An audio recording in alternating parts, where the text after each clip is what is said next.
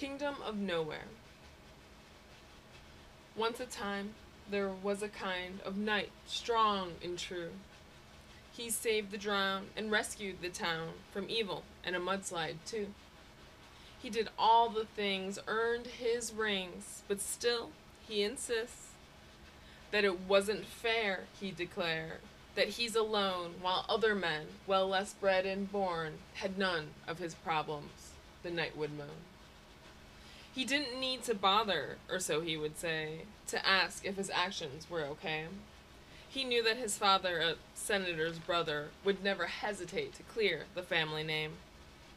He did have a daughter that never got brought up, on punishment right in the face. He wasn't allowed to be anywhere now near her, per court order, thank Judge Grace. He loved to moan and to groan, screaming, It's not fair, I'm her father. Yet to this day, he still won't pay a cent to child support or his lawyers.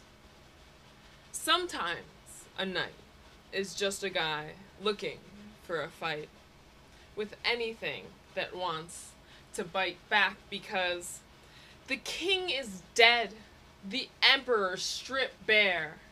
So, how do you defend a kingdom of nowhere?